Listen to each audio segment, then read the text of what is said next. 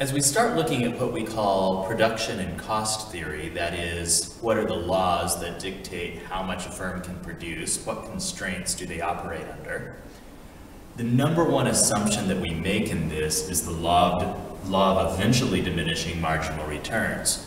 That's a mouthful, I even had a hard time with it, but it is important that we remember that we remember all of those parts of the term. Oftentimes we'll drop maybe the eventually and we'll just say law of diminishing marginal returns, but it's important that you at least always keep the eventually in mind. Eventually, you'll know why. It is an assumption, and it's the assumption that really forms the basis for what we call production theory, that is, how is it that we can produce more and more and more, which then in turn influences how we see cost theory how much does it cost us to produce more and more and more? You'll see that these two are pretty much um, two sides of the same coin. There's no real different conclusions um, between production theory and cost theory, but we can't put production theory on the same graph with revenue, therefore we need cost theory so we can put it on the same graph to draw conclusions about profit. That'll make more sense later, I promise. When we talk about the law of eventually diminishing marginal returns, it's important to keep in mind this is a short run assumption. In the long run, there is no such, uh, there's no idea of the law of eventually diminishing marginal returns. Instead there, we hear about an idea called diseconomies of scale, but that's something that we'll look at in the future. So what this theory gets to is saying that at first, so this is before the eventually. So at first, as we add variable inputs, typically we'll talk about something like labor because it's an easy example, but it really could be anything. As we add variable inputs to the fixed inputs, so remember, when we talk about the short run, it means there has to be some amount of fixed inputs. So given those fixed inputs, we keep putting in more and more variable inputs, and at first, we'll see increasing marginal production, average production, and total production. And all of those happen at the same time and together. Well, why does that occur? Well, let's, let's make an example and see if we can't work our way through this. Say that we've got three people, uh, or we've got one person trying to do all the jobs to, uh, to make cupcakes.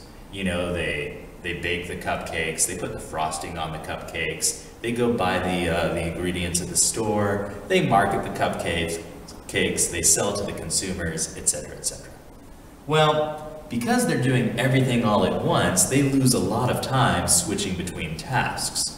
When I go from making cupcakes to going and marketing the cupcakes, I've got to go change out of my dirty baking clothes and into a nice suit and go talk to potential customers when I um, switch from frosting the cupcakes to baking the cupcakes, I've got to get out all this equipment and I've got to put away all that equipment. So one key thing about adding variable inputs, so in this case, my fixed input would be maybe the size of my, my bakery. It's going to be just a set amount of space. But I've got plenty of room to bring in more workers.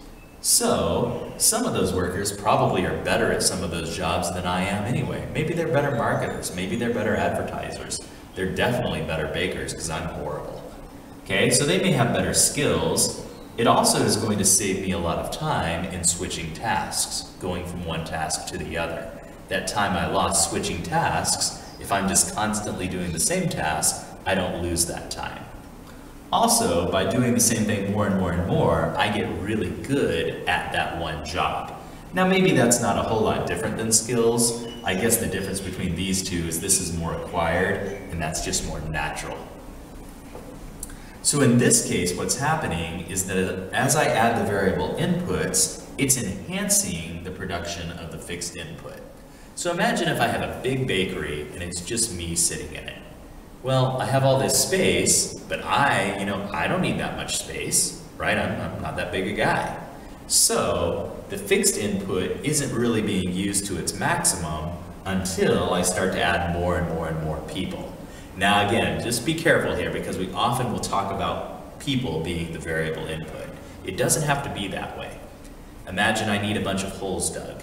And I've got three guys, and that's all the workers I can find. I can't find any more workers anywhere. So I've got my three workers, they're my fixed input. They're digging with their hands, and I add one, two, three shovels. So the shovels are now my variable input, and obviously my production is going to go up and up and up with each one of those shovels that's added. What about if I add a fourth shovel? Well, okay, maybe a shovel breaks and I save some time going to the store, but a fifth and a sixth and a seventh and a hundred shovels. Now these guys can't even work because there's so many shovels out there. So keep in mind that the variable input, though we often will use labor, really it could be anything. That being said, fixed inputs tend to be land, they tend to be management, anything that's going to be associated with a contract. Eventually, this enhancement that I was speaking of here is going to run out. And what we're going to see is that by adding more variable inputs, it's going to decrease first the marginal production, then later, some later point, the average production, and then maybe at some point the total production. I have that lined out because to be honest, probably we're never actually going to get there, but in the theory, it does actually occur. But in real life, we probably wouldn't approach this. Probably once this starts to decline, we would stop adding the variable inputs. So what's happening here? So again, this is after the eventually, so now we're seeing diminishing marginal. Keep in mind, this is from one worker or one change of the fixed input, sorry, from one change of the variable input to the next. So what's happening here? Well, what's happening is that we're running out of something, maybe space. Again, if we go back to my bakery and say it's the size of my classroom, and if you're not in my class, well, you don't know how, that, how big that is, but you could probably have five or six people working in here pretty comfortably. Once you got past that, you'd start to get people getting in each other's way, bumping into each other, you know, just, just getting in each other's way. Also, you might run out of specialties. You've got one person who's really good at baking, and that helps. What if you bring in a second person who's really good at baking? You know that old saying, too many cooks spoil the stew? Sometimes that can be a problem. Everybody has their own best way of doing it, and they spend so much time arguing over the best way to, to do it that they end up not really doing it in a very good way at all. That gets a bit more conceptual, so it's probably best to just think about, you know, in the size of my room, you know, we're going to get to a point where, you know, 50, 100 people, you literally couldn't move anymore. So certainly there wouldn't be very much production going on. So in this case, what we can say is that the variable inputs are overwhelming the fixed input. And at this point, if I've got 50 bakers in my room, that's no good. So now what I need to do is I need to change my fixed input. Remember though, the second we start to talk about changing all of the inputs, including the fixed inputs, that's a long run or planning stage part of the discussion. Any questions or comments, leave them below.